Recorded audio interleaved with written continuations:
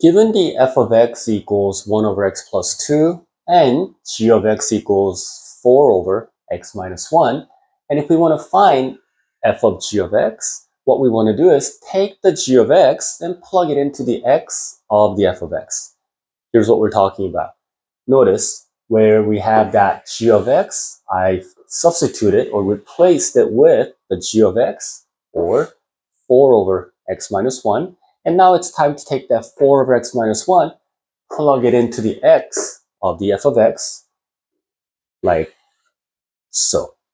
Then, to simplify this, we could go ahead and multiply by x minus 1 to the numerator, and also x minus 1 to the denominator, where if I take that x minus 1 to the numerator, we end up getting simply x minus 1.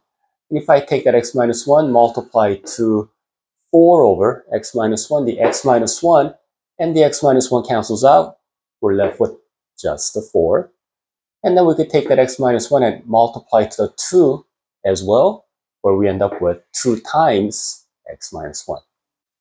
And if we go ahead and simplify this up here, it's going to be x minus 1 all over 2x plus 2. There you have it.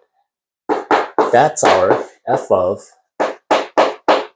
g of x function. Then, what about the domain of f of g of x?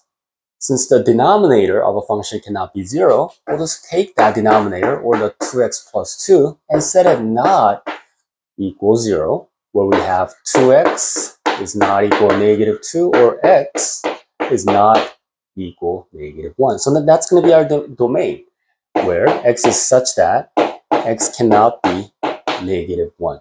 There's a reason I put the words tricky part right there. And the reason for that is when we took that g of x or 4 over x minus 1 into the x of the f of x function, like I did right here, notice that x minus 1 cannot be 0 or x cannot be 1. And that has to be part of our domain as well. Simply put, when we take that g of x into the f of x function, don't forget, after you find the domain of f of g of x, find the domain of g of x as well and include it into the domain of f of g of x.